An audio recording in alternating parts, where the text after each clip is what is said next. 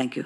Well, Welcome to the September 9th City Council meeting, um, work session, actually. This is our first gathering since a long break. The mayor is out of town due to a family emergency, so I will, as council president, I will be acting as mayor, and Emily Semple, who is our vice president, will be acting as council president. And I don't know where vice president is. I guess um, the acting vice president will be Chris. Okay, got that all settled. First item is, on the agenda is items of interest and committee reports, and I'm going to start that tonight because I have a motion which you all have in front of you. And then we will take the names of other people who wish to speak. Um, I move to direct the city manager to not begin a process for complying with House Bill 2001 and instead work to obtain a legislative repeal of H.R. 2001 during the 2020 legislative session. Second. Okay, thank you. Um, This, this is a state preemption of local control. Uh, The land use is, in my opinion, and the opinion of a lot of other people, including League of Oregon Cities, uh, should be a local matter. Uh, The state, we, we elect the state representatives to help us to do things for us, and things like for example, taking care of homeless people, mentally ill, things are the kinds of things that the state could help us with because people move from place to place. Our land, however, does not move. It stays right here. And I think it should be in our control and that we should do everything we can to resist the House bill which preempted, attempts to preempt local authority. Mike? Yeah, Betty, I'll vote in favor of that. Um,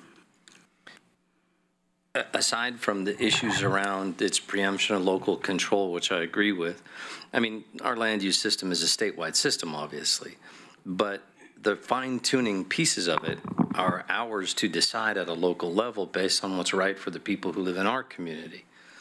And I agree with you that this is too heavy-handed in a, a change.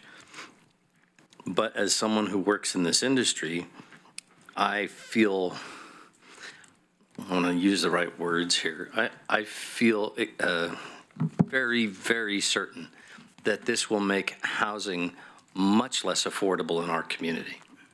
The end result of this will be to make housing terribly, terribly more expensive. And I could go through all that, but I'm not going to waste your time. Suffice it to say, happy to if you would like, privately or publicly.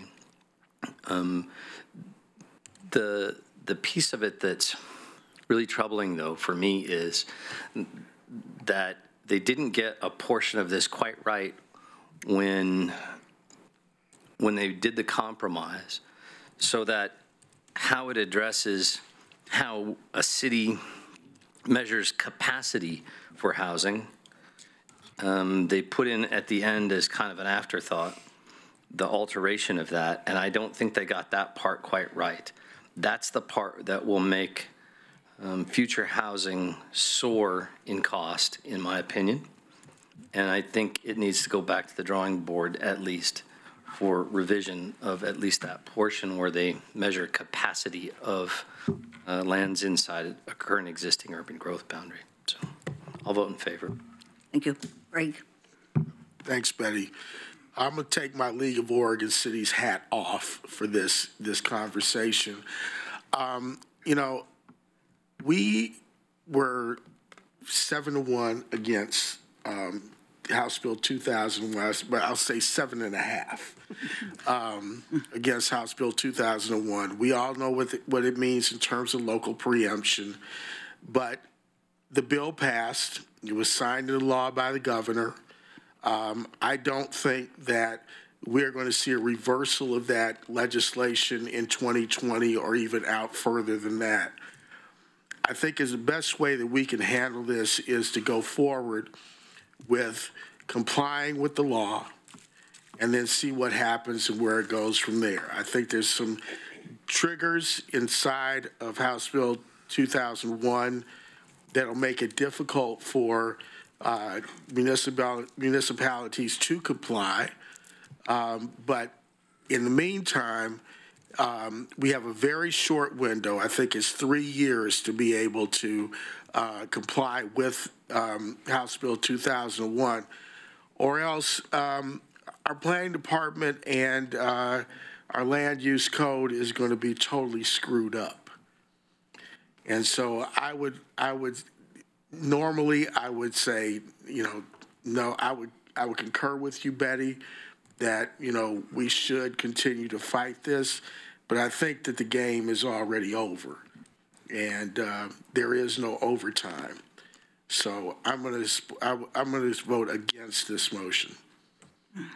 Chris? There's actually two parts to this motion. Um, The first one, which has been talked about a lot, or the first part, is the part where we don't like the fact that the state passed this, and we don't like the fact that local control has been taken away, and we don't like the fact that, um, you know, we, did- we, we can't do this on our own. But there's a second part that is, I think, equally dangerous for us, and that is the part where we don't have a backup plan, where you don't prepare for the eventuality that this is going to be imposed. In other words, you say, well, we're going to work to repeal it, but we're not going to do anything else. So when the time comes, we don't have anything in place, and the state comes in and imposes a state-generated mandate, and that date will be June 20th, 2022. If we do not have a locally compliant version, the state will impose theirs by law. Period. So we say, okay, don't worry, we'll have it repealed by then. Can we guarantee we'll have it repealed by then? In 2020, it's only a five-week session. The chance of being able to get something like that through a five-week session is minimal, which means we have to wait till 2021. And then we have to wait till the end of 2021 to see if we can repeal it then. By that time, you will have 12 months to put together a compliant plan or the state comes in and imposes theirs. So if, if, if you want to go down that road of saying, let's uh, have the city manager work to obtain a legislative repeal, you can do that. But to put in not begin a process for complying is foolish. It's crazy. It says we're so confident we'll repeal that we won't do any work, we won't have anything ready, and when June 20th, 2022 rolls around, we'll go, oh gosh, and the state will, W-I-L-L, impose their plan on us if we don't have one. So I think in this case, I think we should vote against this. If we want to take up the issue about um, opposing 20, 2001, take that up as a separate issue. But this is foolish. Claire? Thank you. So I cannot support the motion, though I do appreciate you having forecasts that you were going to bring it tonight. Um, You know, I spoke passionately to have our lobbyist oppose the bill when it was in the legislature, and I thought that was the correct position. We were being asked, do we want to uh, support it with amendments? And, you know, I felt, no, it's, it's, it wasn't a good bill. We didn't want to support it. We didn't want it imposed on us.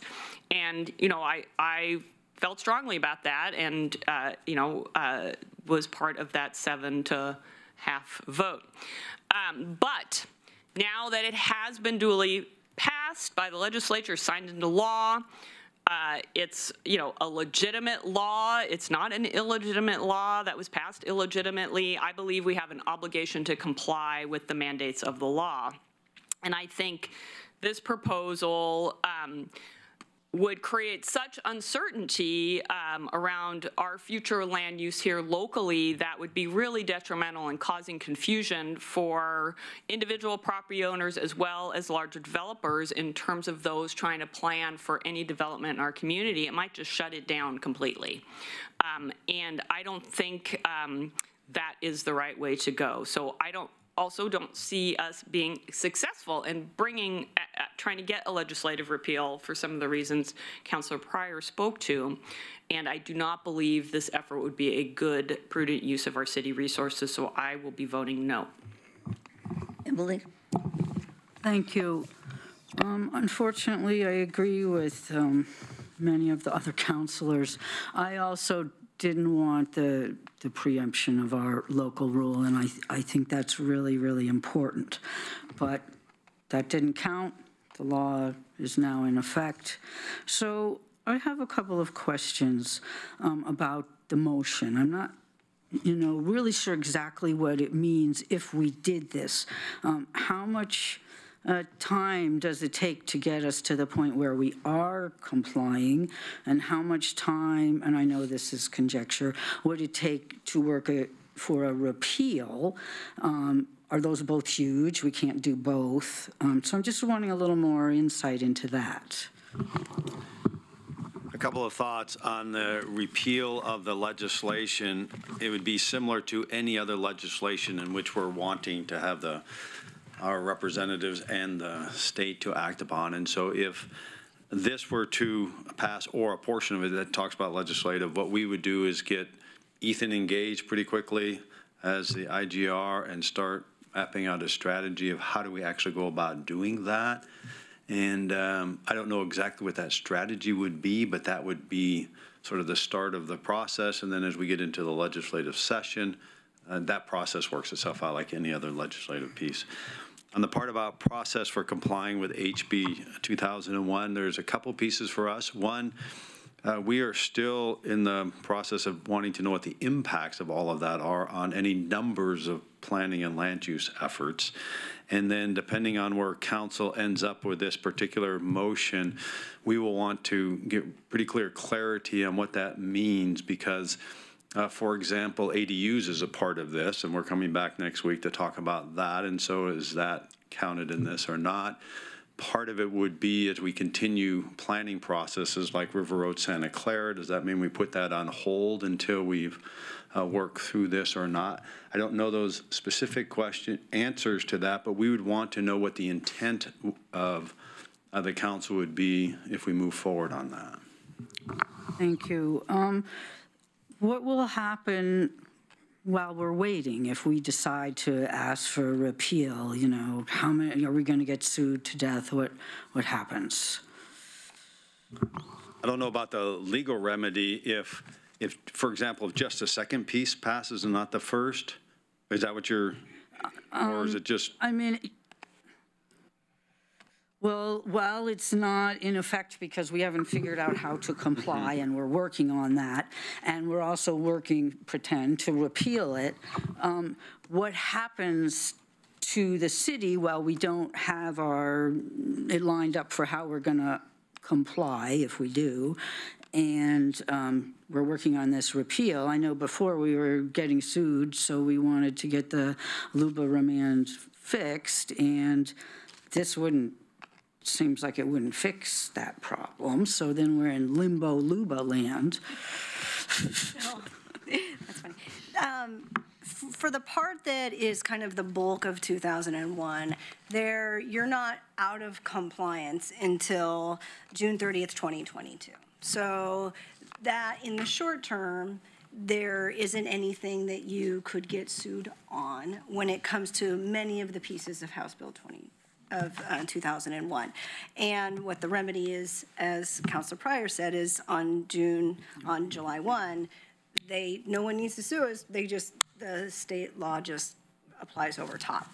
There are other pieces of it which make this complicated, and I think um, what John was speaking to is what, what the intended scope is, is, for example, there is an ADU component um, that, that goes into effect January 1, and that would be part of your discussion coming up. And so if, um, if in fact the intent of the first part of the motion is to get at that ADU piece, then some of the conversation next week can be about, well, starting January 1, this is now where you're even more out of compliance. And that's where you'll see the additional LUBA appeals, because you won't be fixing it on remand.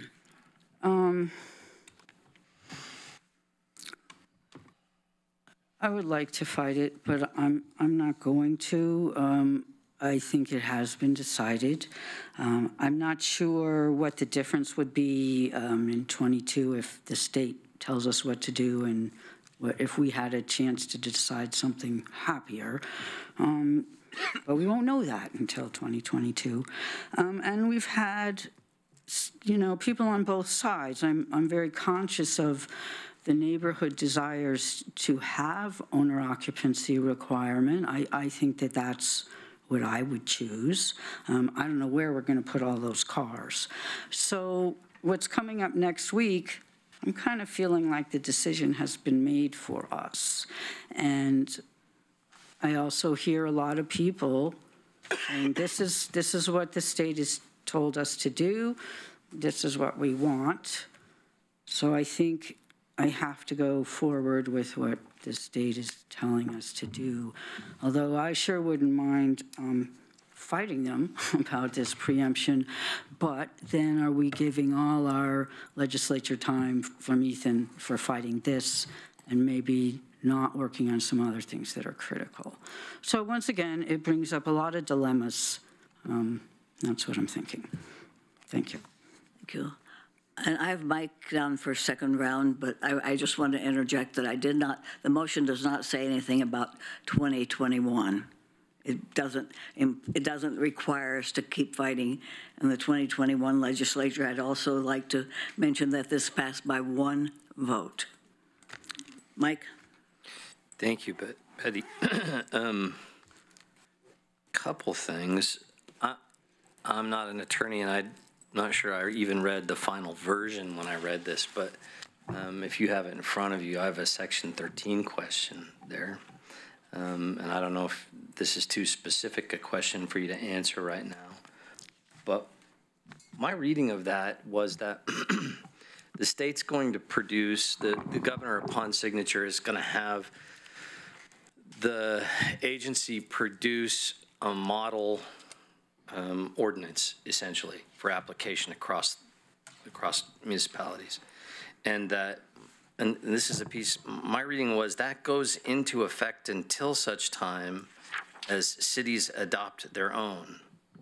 How did I, can you help me with how I misread that? Um, I'm seeing you shake your head, so I'm guessing I did. Well, and, and it sounds like, and maybe we can talk a little bit offline, because section 13 now is about the, actually the CC&R provision. Oh, yeah, yeah, yeah, Um, yeah. I missed, I'm sorry, I missed that. It was, it wasn't section 13 then. The, the provision that, it does direct them to develop model ordinance that would apply, but the, the, the controlling provision that leads to this separate conclusion, which is we have until June 30th, 2022, is it talks about we, they shall adopt um, regulations or amend its comprehensive plan to implement section two, which is all kind of the Right. substance. uh, no later than June 30th, 2022 for each local government. Right. And then subsection 3 says, "A local government that has not enacted within the time period under subsection 1 shall directly apply the model ordinance developed." So that means until we've, um, until that time, and let's say on June 29th, we've adopted it, then we've never been in the position of having to apply the model ordinance. Yeah, again, I thought it's, the way that language reads, I thought it was until such a time as we have ours adopted, the model ordinance would be in effect upon governor's signature. No. Okay, all right. Lastly, with CC&Rs on 13 there. My sense of this is that that's going to be litigated. Would you tend to agree? I don't know the answer to that question. Um, Possibly, yeah. It's a unique provision. Yeah, and I, well, it- it, talks about it in an ex post facto way. It says any, you, you can't uh, enforce previously, previously existing contracts, essentially. And I think that's likely to get challenged in court personally, but that's neither here nor there. My point is, I, I've talked to enough people, I think that's probably the case. I think a good deal of this will be challenged in court. I, I'm willing to vote in favor of Betty's motion because I think that whether it's the the nature of how this will be received and dealt with in the courts and, or how many folks resist it, are, are we, do we have any other means of resistance? Legal means? Uh, not that, no, I mean, we need to seek repeal of it. There's not a facial challenge that we could make to this. I take your point about it being one that it would not be good not to be prepared. I, I, I get that. But I would like to put some effort, serious effort into fighting this in some way, because I think the outcome will be very, very bad for an awful lot of people. So, Emily? Thank you. Um, So I'm hearing that we think other cities will um, ask, work for repeal, but we don't know, of course. Um, How long, guessing, do we think it will take for us to get our compliance uh, organization ready? Um, If we get that ready before the deadline and then other, other things change? Is it like our, our straw thing where if we get ahead of it, we get to keep that?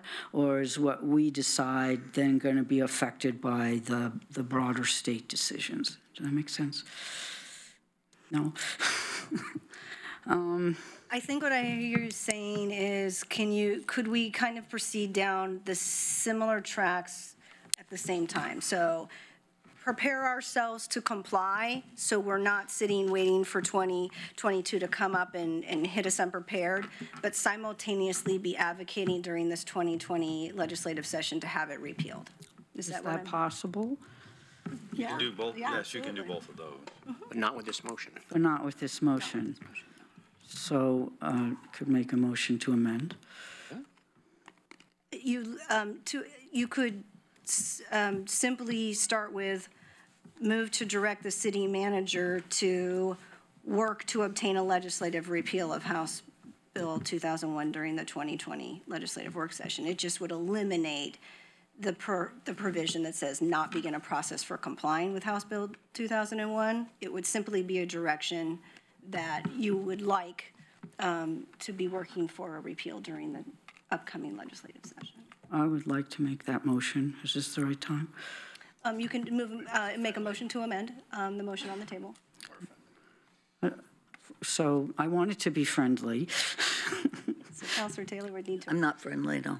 Fair enough, But, so you would need a second. I'll second. thank you. Okay, we're now just, I had Alan in the line for the other motion, but I, now we'll- we'll discuss the second. Alan? Yeah, I too think this is a terrible piece of legislation. I think the unintended consequences are going to be enormous, especially in parts of my ward around the university, where uh, I think we're going to see really devastating. unintended consequences, I mean, that a lot of us are foreseeing, so maybe they're not unintended. Like, for instance, the marginal low-cost housing could be demolished and, and uh, duplexes and fourplexes, and two of them could be put up on the same piece of property, significantly impacting the livability of that area uh, and also the affordability of that area. So I think it was a cookie cutter approach that was Portland-centric, and it, and it shouldn't have been applied the way it is being applied. Having said all that, I think it's a terrible piece of legislation.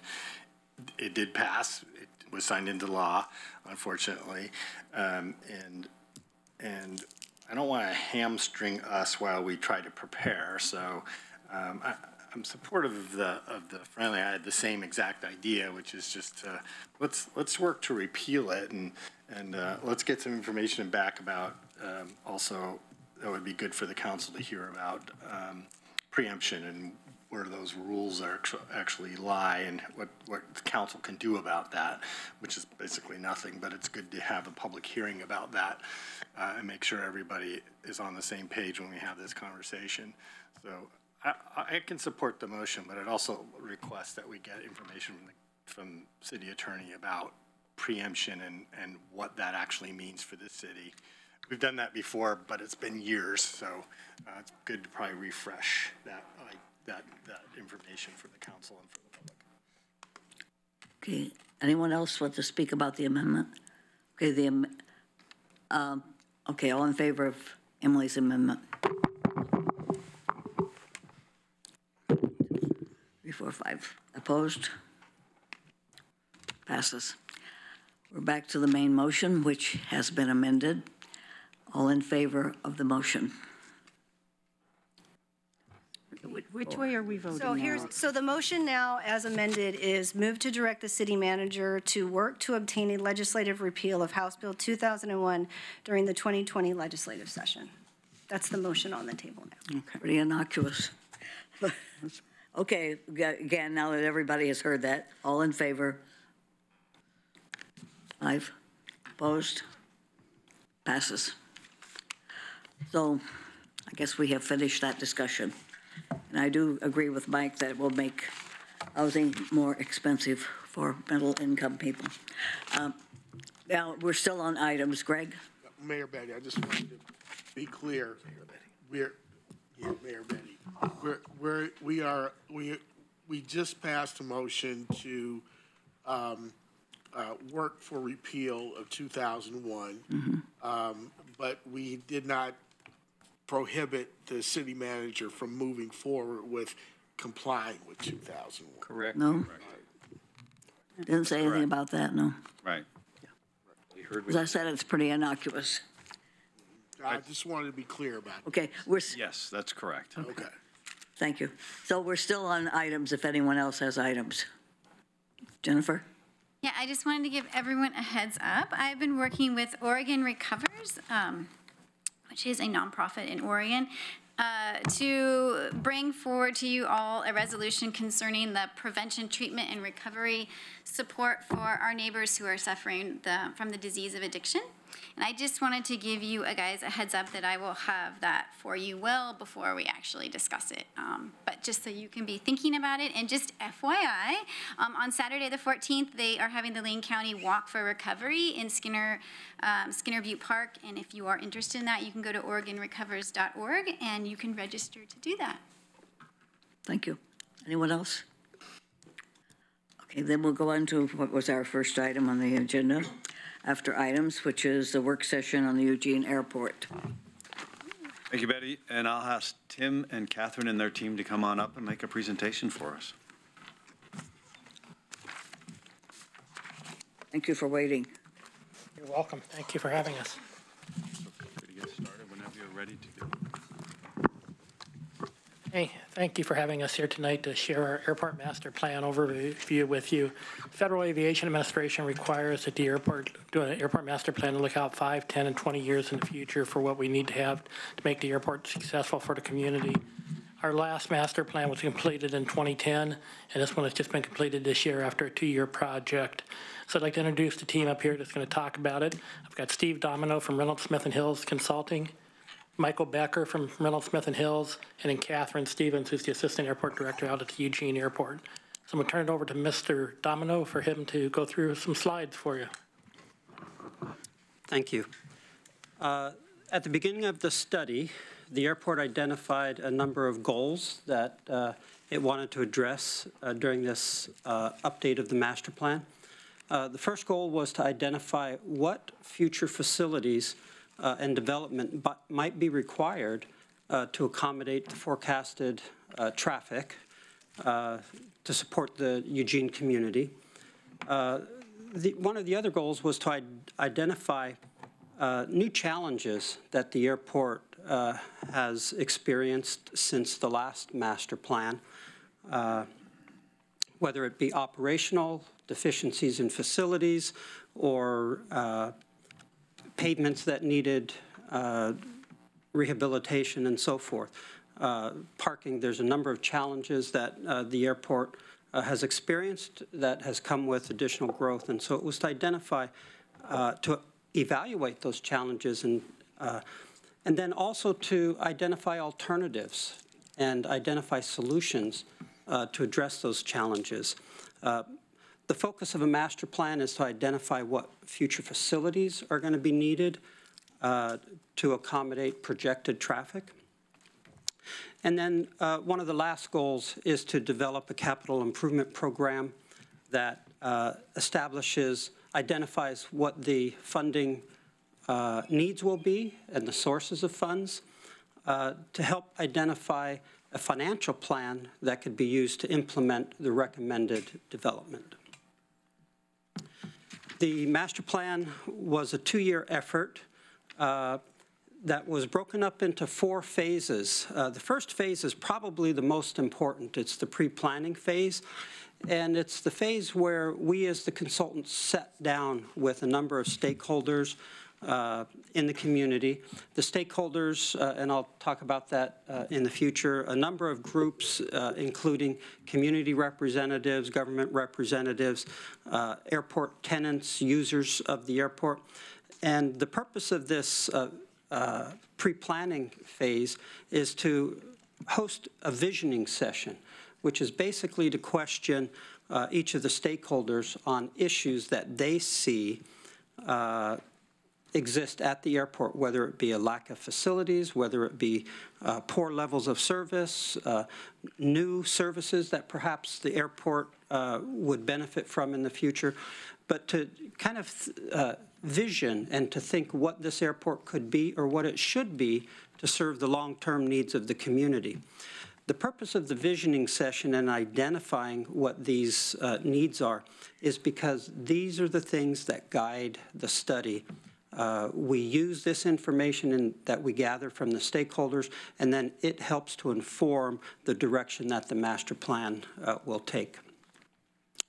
Uh, the investigation phase is basically gathering all of the base information, uh, what exists at the airport, what's the condition, its age, uh, uh, whether facilities are in the right location or wrong location, it also identifies, it, it, it gathered a bunch of uh, uh, aerial information of uh, exact, precise locations of taxiways and runways and things of that nature.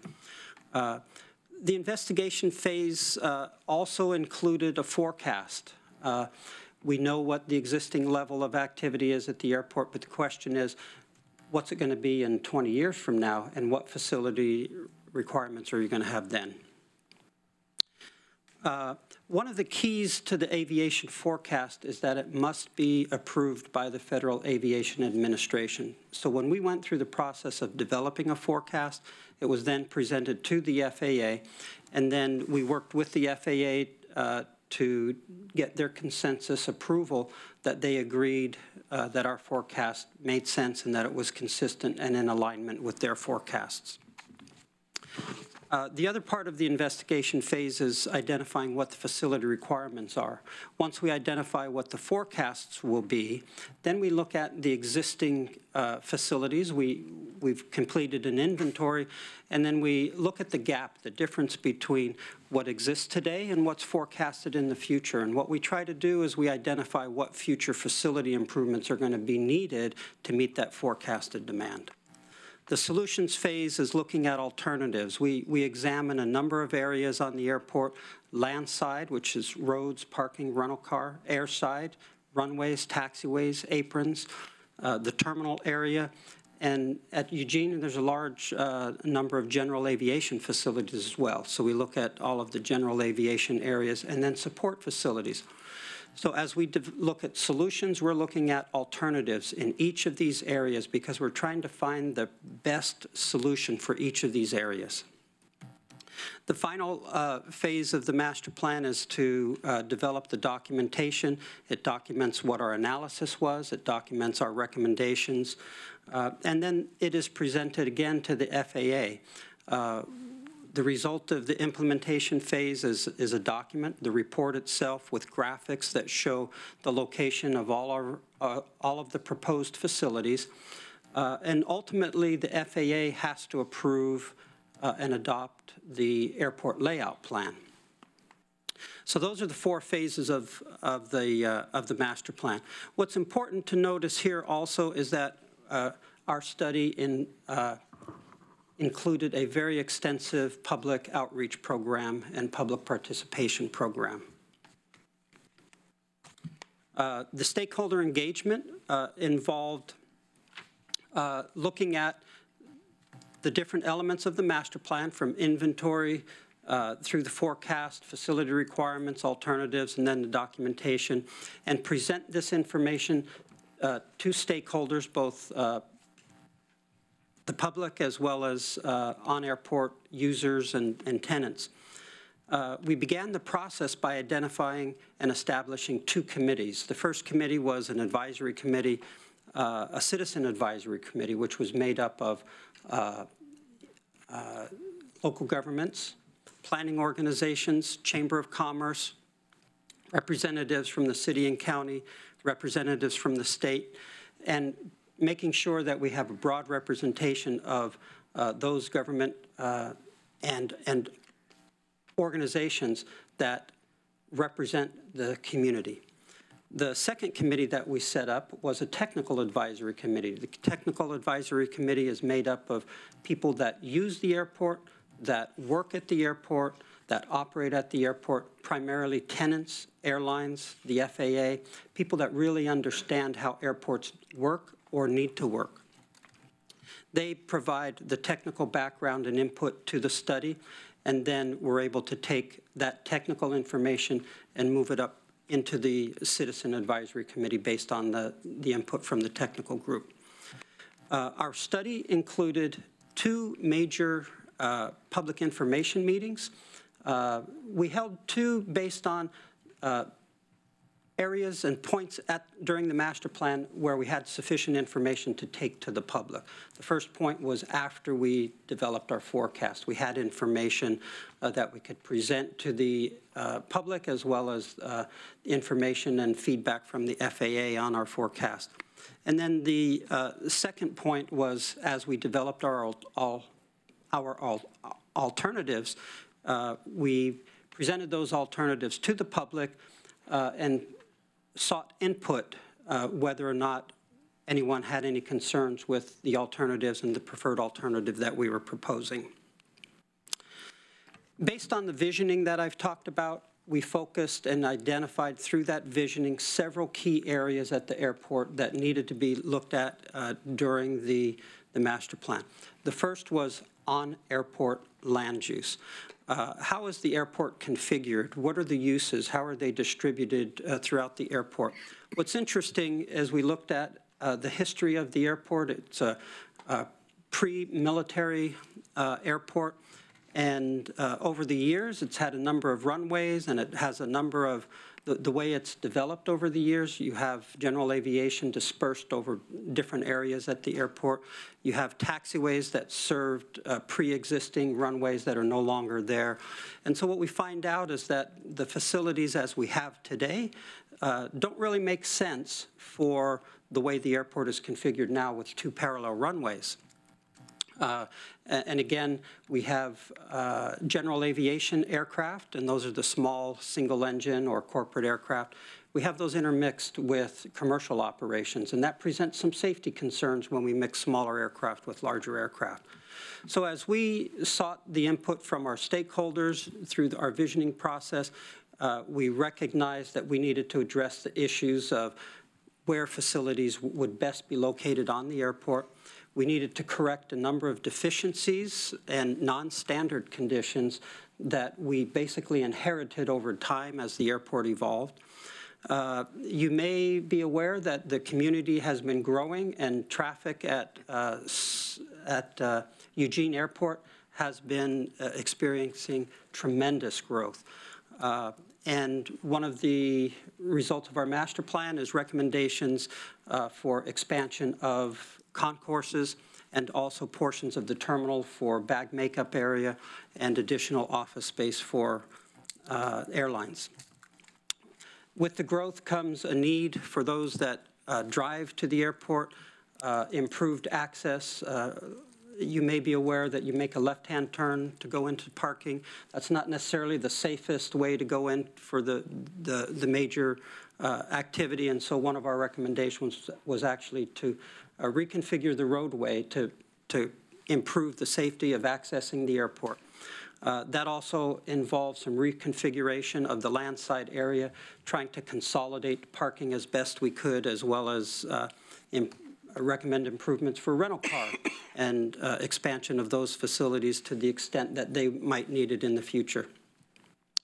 I already mentioned the need uh, and the focus on general aviation facilities, trying to consolidate those and segregate those from the uh, commercial uh, aircraft operations. And then one of the other areas that we looked at was the, the need for expanding air cargo uh, in the future as well.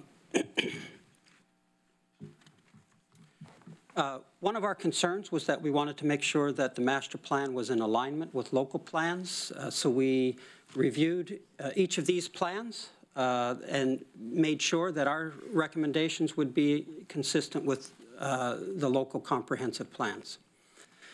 One of our uh, scopes also, in addition to the master plan, was to uh, conduct some additional studies uh, to ensure that our recommendations and to provide the airport information to make sure that their uh, uh, process of managing the airport was being done in a sustainable manner. Uh, We audited the recycling program at the airport uh, and found that it is an excellent program, but there's also some uh, areas for improvement, uh, providing more information for people that use it so that they understand what materials to recycle and whatnot. We also conducted a, an energy audit at the airport to identify uh, ways, recommendations that would help conserve energy at the airport. Uh, we were asked to conduct a solar feasibility to study study to find out if there's opportunities for uh, implementing some type of solar facility at the airport. Uh, in order to, uh, the conclusion of that particular study was uh, that in order for it to be feasible, it would require uh, grant funding from uh, the state as well. Uh, one of the parts of the master plan was also to evaluate noise. Uh, part of this, the study is to update the noise contours. Uh, the conclusion of that was that long-term, with the projected growth of commercial operations, that the noise contours would not grow and they would uh, remain within the airport boundary. Another element of our, our study was to look at economic development at the airport and methods to uh, enhance the use of the airport uh, to generate additional uh, revenue for the airport through either uh, aeronautical or uh, aviation support facilities at the airport. Uh, I mentioned the inventory. basically, the inventory is just taking, uh, documenting all of the existing facilities, the condition, finding out where there are deficiencies uh, or needs for improvement. Uh, one of the elements of the master plan is we inventory also the environmental conditions uh, at the airport environs. We look at floodplains, uh, uh, species of concern, noise contours I mentioned, wetlands, and then anything that might impact how we would recommend uh, new facilities at the airport. So before we recommend uh, location of a facility, we want to understand what environmental uh, impacts it may have as well. I'd like to quickly review, review the forecast. Uh, as part of our forecast, uh, what we see here, the dashed line indicates what our forecast was. The solid line indicates actual uh, enplanements of passengers. An enplanement is considered a passenger that boards an aircraft. Uh, by the time we completed the study and we went back and looked at our 2018 numbers, what we found out is uh, growth at Eugene is uh, even exceeding our forecasts. Uh, right now, Eugene uh, numbers of passengers going through the airport has reached 20, 25,000 uh, levels. Uh, you'll see reference to PAL1 and PAL2 and PAL3. These are called planning activity levels. And what these represent is when we plan, we don't like to plan uh, and tell airports what facilities you need in a given year. What we do is we identify an activity level and we identify what facilities airports will need once you reach those activity levels. So these planning activity levels represent different levels of activity at which when you re reach these activity levels, you then should implement the facility recommendations that we include in the master plan.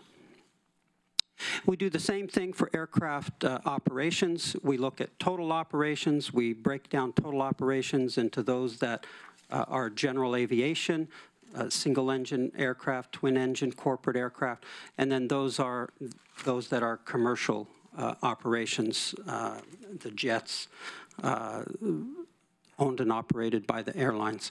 Again, you'll see generally that the forecast of operations in most cases, uh, again, uh, exceed your 2025 uh, forecasted levels.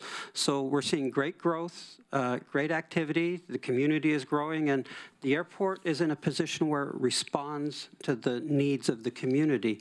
And as the community grows, the airport is, is trying to manage uh, and provide a good level of service to the community. When we look at uh, facility requirements, once we complete the forecast, we identify, uh, based on these planning activity levels, what facilities need to be expanded, uh, what taxiways or runways need to be modified in one way or another. Uh, as I mentioned, you can see in the center photograph uh, a conglomeration of different taxiways uh, exiting from the runway.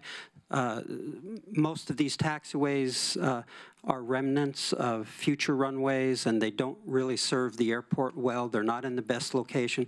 And more importantly, as the FAA uh, learns more in its industry, uh, they change it, their regulations to create uh, guidelines and standards that they deem are more safe.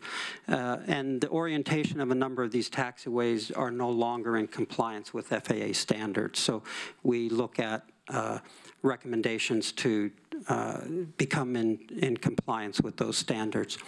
Uh, one of the major recommendations, of facility requirements, as I mentioned earlier, is additional gates uh, to handle the, the demand that the airlines uh, are needing or are using.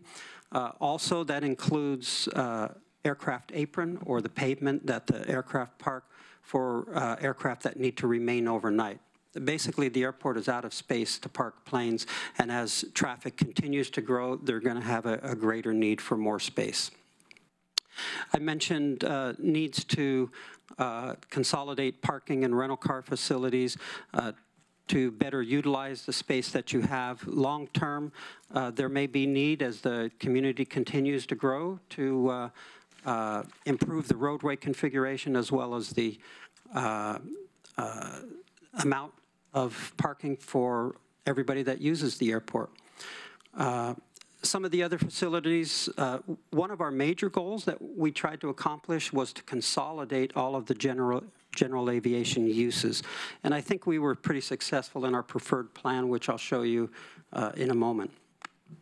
In addition, in order to accommodate uh, realignment of the roadways, uh, the airport would need to relocate its fuel farm uh, to a new location, and uh, it will also need to uh, enhance the support facilities that it has, both for maintenance, landside maintenance, as well as airside maintenance.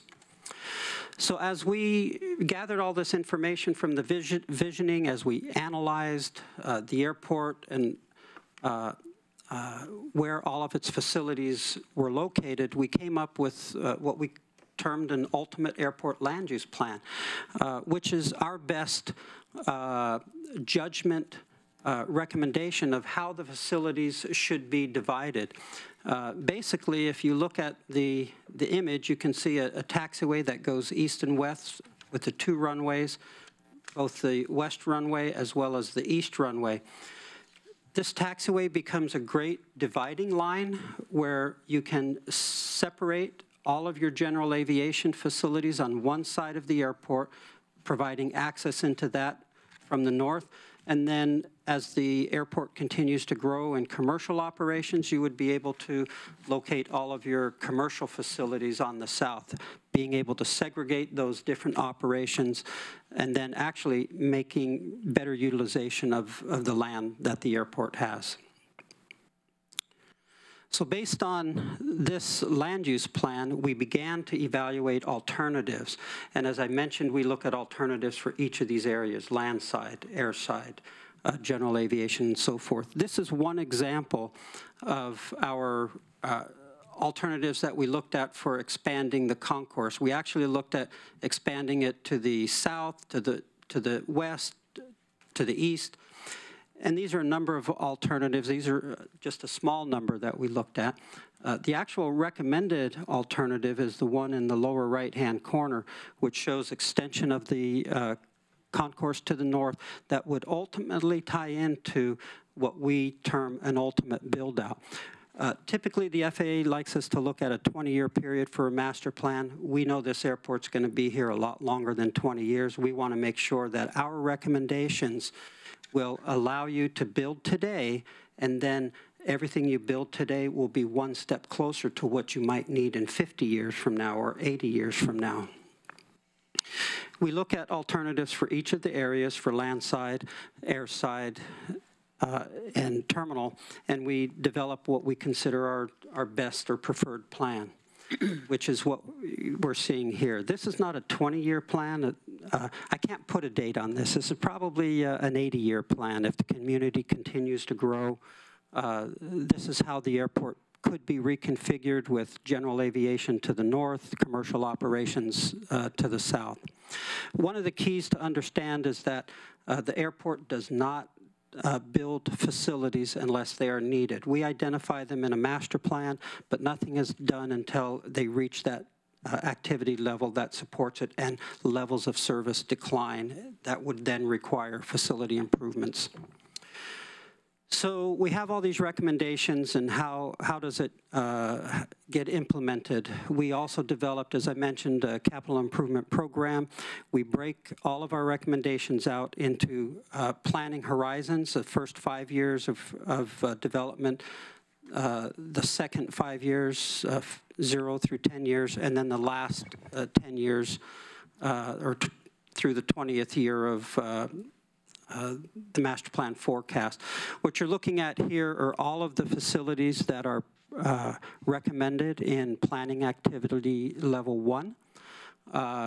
It primarily includes reconfiguring a number of the taxiways, removing taxiways that are not needed, installing new taxiways in accordance with new FAA standards, uh, expanding apron to reconfigure a lot of the taxiways because there is a lot of confusion in the taxiways at the airport. Uh, consolidating parking and then providing uh, the enabling projects for expansion of the concourses to the north. You'll also see some uh, uh, lines on the sides of the taxiway, which are uh, the shoulders, uh, again, for safety reasons at the airport. Uh, the second uh, five-year period, or planning activity level two, really is a continuation of the recommendations of improving taxiways and airfield facilities. One of the major recommendations is to realign uh, Green Hills Road on the uh, east side of the airport. Uh, right now, the road goes through airport property, and it only serves airport property, and we thought it would be beneficial if that road served both the airport and the uh, private landowners that would be to the west of, or to the east of the airport. The final phase, uh, planning activity level uh, three is in red. Again, just a continuation of airfield improvements, taxiway shoulders, uh, some additional apron that's needed for uh, around the terminal area, and then continuing with uh, the, the process of uh, as leases expire, relocating general aviation facilities into areas that are, are better suited for them one of the, uh, the main questions we're always asked is what's it going to cost? We identify uh, in our capital improvement program uh, the estimated uh, implementation cost uh, for each of the planning activity levels. We're looking at 113 million in planning activity level one, which would be the next five years or so. Uh, planning activity level two is about 11 million, and then another 100 million in planning activity level three. The most important thing to understand is that airport improvements are only funded with revenues that are generated at the airport. Uh, through user fees, through concession revenues, aviation fuel taxes, uh, AIP grants from the federal government, and so forth. There are no local uh, tax dollars used to develop the airport facilities. So what we ended up with was a a 20-year plan, a preferred uh, plan uh, that is in alignment with uh, local and regional plans. It basically uh, uh, adopted some of the things that were in the original master plan that were still valid, but it built upon uh, and made new recommendations where the prior master plan was no longer valid. Any questions? A lot of material, I know that, for,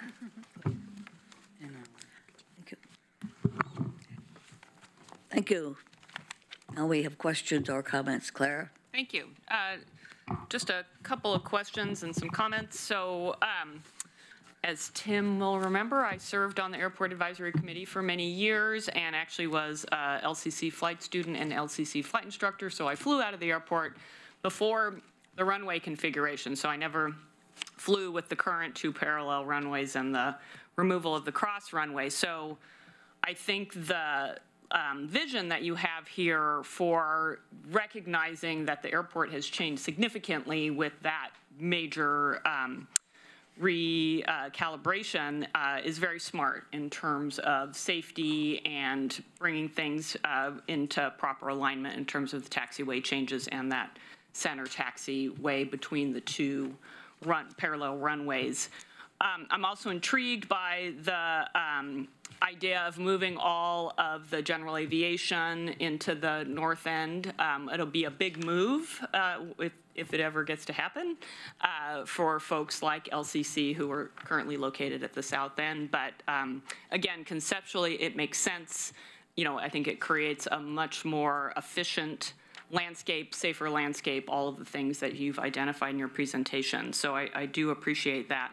So in terms of that piece, um, you know, you stuck really with kind of the terminal and taxiway uh, pieces in terms of the phases, but is there, is that just thinking way further into the future in terms of consolidating the general aviation at the north end, moving the um, LCC and all that there? Y- Yes, the, the goal would be that no one moves until their leases expire. Okay. So they fully amortize their investment, and uh, the idea is the, the airport needs to be able to control the development on the airport. When a lease is expired, that's a good opportunity to, to relocate them. If the, the sites are shovel-ready for them to be relocated. So there's a lot of enabling projects that would have to occur as well. Okay. And then the realignment of the entrance and getting rid of that left turn has been on the list for a long time. So uh, is that uh, envisioned in one of the, the PAL 1, 2, or 3 phase? Uh, It's actually in PAL 1. Okay. And I think the image, I'm trying to go back to this one, uh, it probably doesn't show it very well, but we're, we're, oh, no, because this is the ultimate development, I'm sorry. But uh, we're proposing a roundabout uh, that is uh, much more safer than a left-hand turn. It provides access to all the other parts of the airport. So we hope to do that in the first first phase. phase. Correct. Yeah, that's great. Um, uh, I had one other thing to say, but I've forgotten what it was. So um, thank you very much. I appreciate the hard work. Thank you. Ellen? Yeah, thanks for the, work on this. Um, looking out pretty far.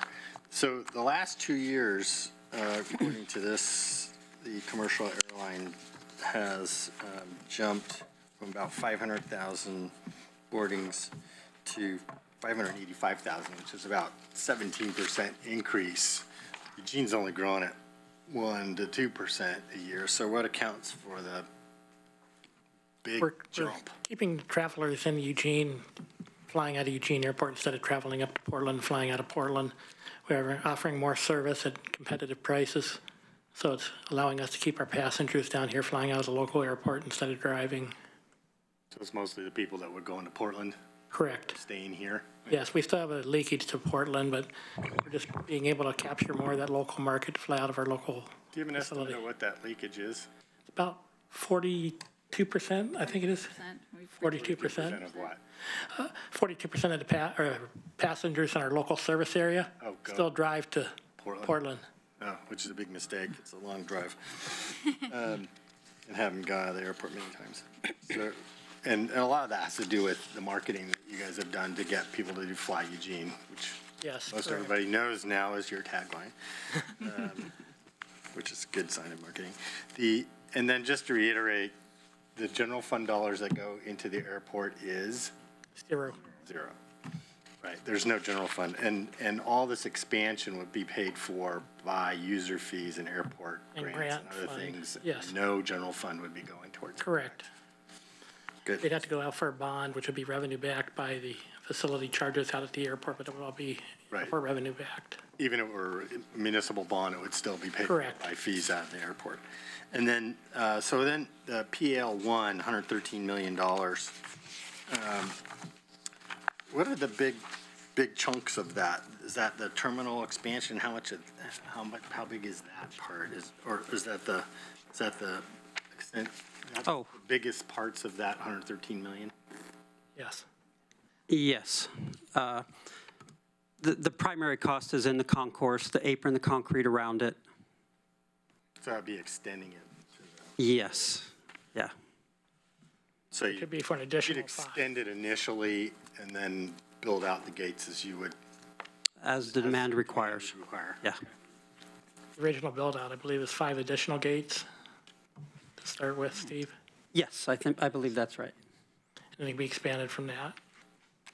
Uh, But the, re- the current system would stay in place, Correct, the current terminal. correct. So again, the lower right-hand image shows uh, the first phase of expansion here. Yes, and then this is the existing terminal and concourse. And then from there, whenever demand requires, you can continue that concourse or build new, you know, whatever the airport and community might need. Okay, good, thanks. Mike? Thank you, Betty. Thank you all very much for the presentation. I appreciate that. Um, It's, it's interesting to me, as someone who hasn't flown much lately, we had a conversation about that earlier. Um, It, it seems to me that all, if not, eh, most, if not all of this is around the idea of personal transportation or, or people flying, and not much of this presentation is around the idea of freight flying. Now, do you anticipate that changing at some point, as long as we're talking about a future master plan here? We feel that we have the opportunity to go after freight with the uh, capacity we have out there and the configuration of the House for with little delays to the carriers. However, San Francisco is a major cargo facility or cargo hub, so is Seattle, Portland. So the competition for the major cargo carriers is very tough. And they're already in those markets and doing a great job in those markets. So getting them to come into Eugene is a difficult process, but we still meet with them and talk to them about trying to get more cargo activity out of the airport. Well, it seems to me like we're putting more industrial opportunities out in that particular area from a land perspective, number one. Number two, you've got to wait quite a long while to get in line to land in places like Portland with planes to get in for something like that. Number three, retail is dying and more things are being shipped in more quickly. So it- all of those things together to me seems like we, we become at some point in the future a perfect place because there's no waiting. You can get right down there and if you've got a place for a warehouse right out there, why, by golly. I mean, do you anticipate that anytime soon? We anticipate still working on it. Uh, One of the things that we'll probably have to do to make it competitive with the other airports, we become a foreign trade zone. A what? A foreign trade zone. I see. Where it can be tariff-free until they actually use the product. Right. We stored it in warehouse out at the airport, so until it's actually used, then they pay the tariffs on it. If, if I can add, one of the keys to the master plan is to make sure that it's flexible and adaptable, because we really don't know what's going to happen in the future. Uh, If you look at the image, you'll see that the proposed cargo area is nearly triple in size to accommodate that potential for growth should it uh, materialize. And, um, Mr. Manager, I prob, this is probably a question for you. I just timed that perfectly, didn't I?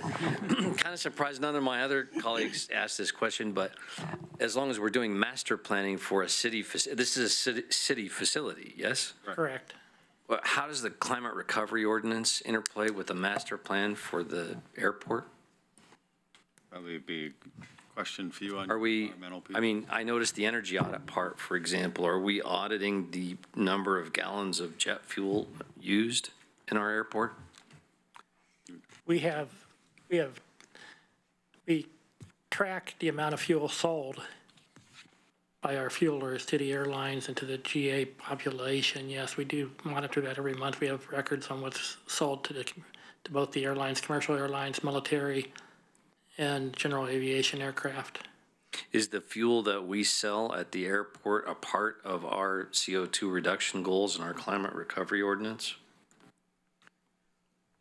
Well, we should specify that we don't sell the, the fuel. Um, We're not a fueler. Um, We, we have a fixed base operator, Atlantic Aviation, that um, is the fuel operator on the field. Um, So yes, well, that's a part of it. We, we're really, as the airport, we're in charge of kind of the ground and the facilities, um, being all the infrastructure. So some things that we look for are how can we reduce our um, overall footprint by saving on, switching over from incandescent lighting to LED lighting, for example. That's a project we've been working on this summer, changing out our centerline lighting on our main runway um, from incandescent to LED. Right. And that should be a significant savings and also reduce our carbon footprint. I saw that, that was awesome. The part that I was specific about, though, is that obviously fuel use is by a huge margin, the most massive carbon use at an airport. So are we measuring that to know, or do we have, and is it a part of our climate recovery ordinance? That was really more of a question for the manager. That, how much fuel gets used at our airport? I'll need to have somebody uh, respond back to you more specifically on that. I mean, because I know we have goals around reduction in fossil fuel use by 2030, and I'm wondering specifically too, is airport fuel a part of those goals? Uh, Well, I'll get back to you on that. Awesome, thank you.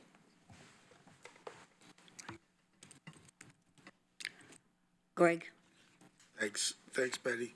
Um, A couple, three questions here. One is, there's been talk over the years about the development of a hotel property in that space.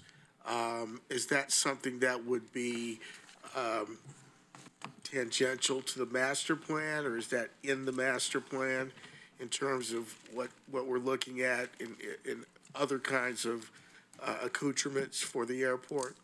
The master plan shows the location for the proposed hotel, which is over in Awbrey and 99 on the property we own there.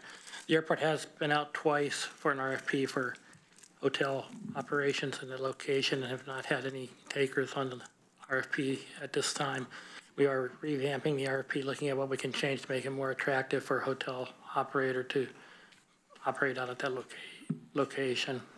So in addition to that, and kind of moving, moving in that same direction, um, I've noticed over the years that, uh, Portland has become saturated in terms of the number of, uh, flights that are going in and out, and that there's pressure on the next tier or next level of airports to be able to service that.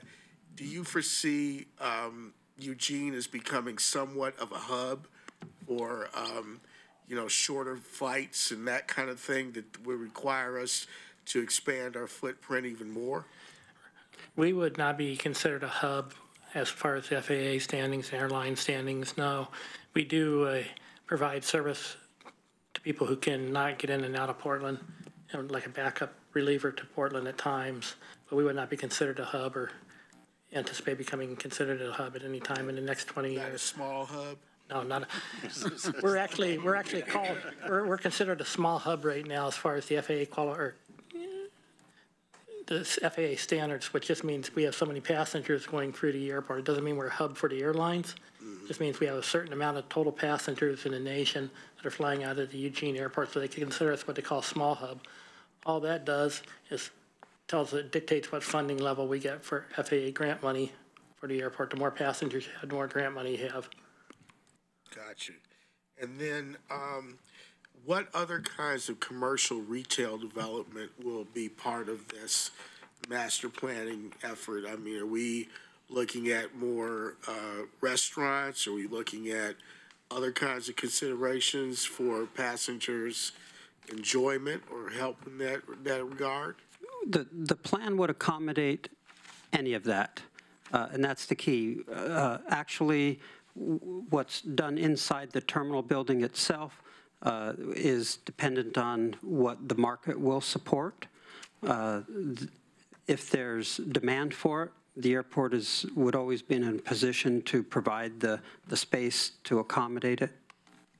Right, we're looking at additional restaurant space and concession space, retail concession space, and a new concourse that Steve had mentioned building out in the next five years.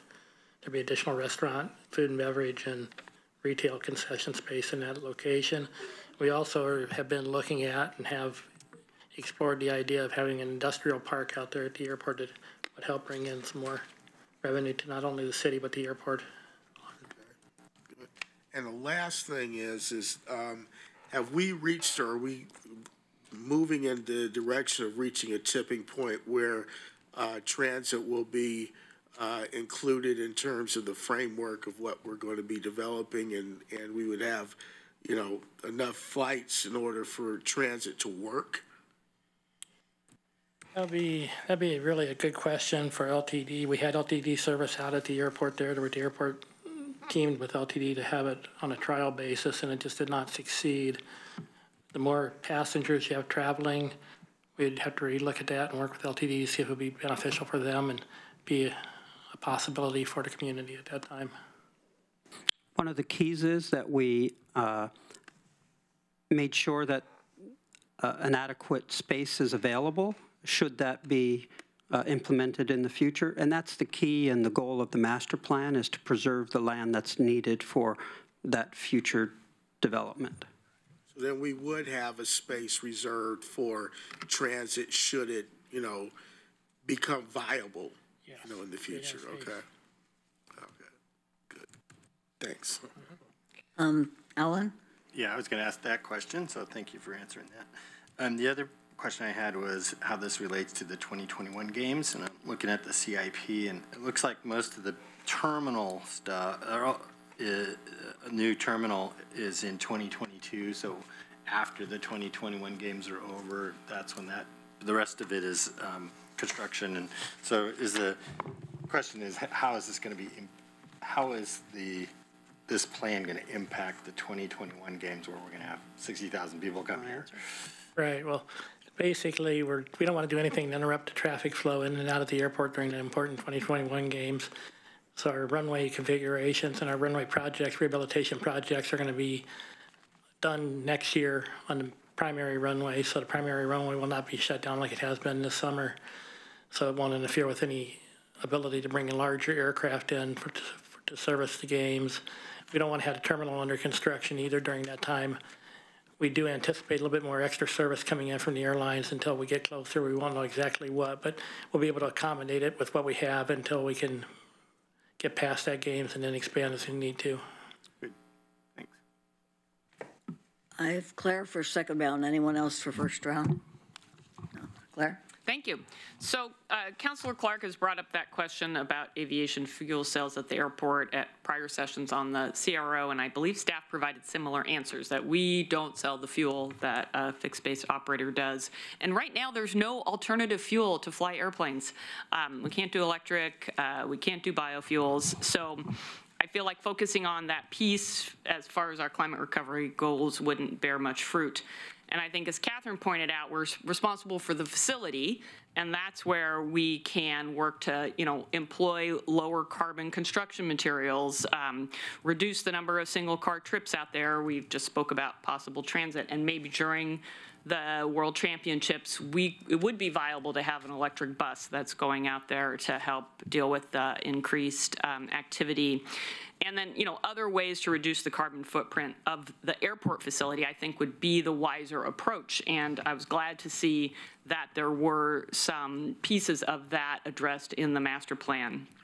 Um, and then the other thing that I had uh, just meant to comment on uh, when I spoke before was, you know, in the ultimate airport design and even the phases, those images of multiple airplanes lined up at multiple uh, terminals, you know, would make some of us celebrate and others of us in the community cringe as we think about, you know, what that's envisioning for the growth of our community in, in coming years. So it's definitely food for thought. Thank you.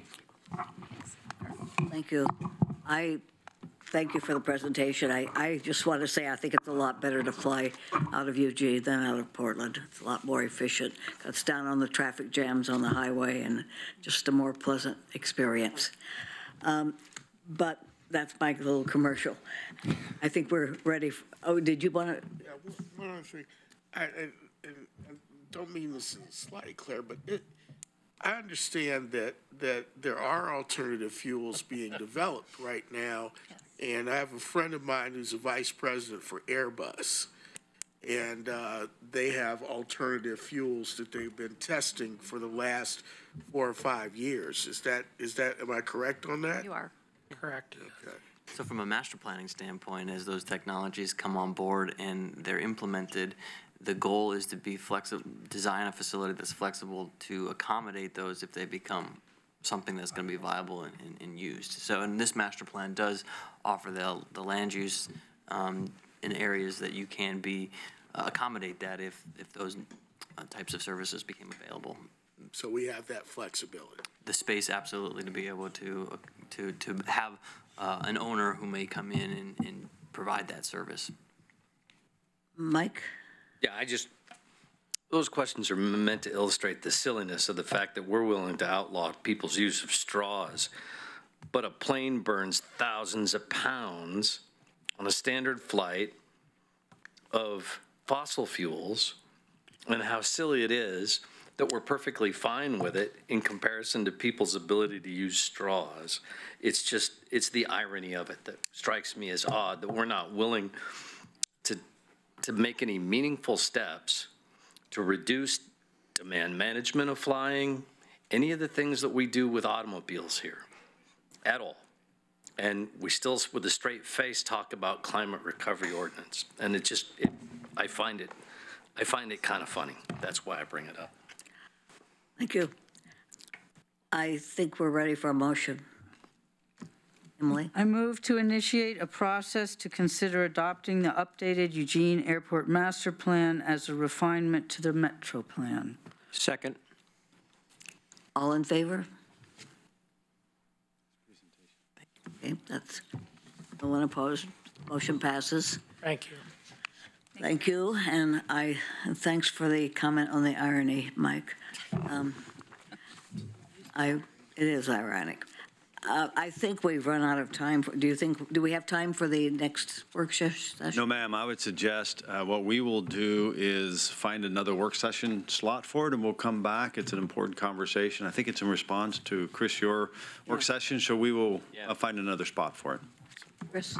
Yeah, I would really encourage that, and, and so that we have the process for thinking as we, as we get that scheduled as soon as possible.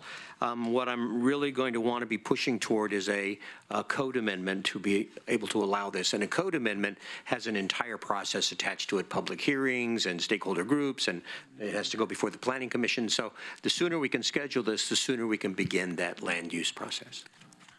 Okay, I hope you can send out some information about what you're expecting before the work session. It'll be, it'll be It'll be- integrated into the work Okay. session. It'll be part of that. yeah. Okay, and so the manager's retirement has left some, us some open spaces since we don't have to evaluate him, so I'm sure we can find. Schedule's open You So you oh, I- evaluate every Monday. We can, I think we can find a space. This meeting is adjourned.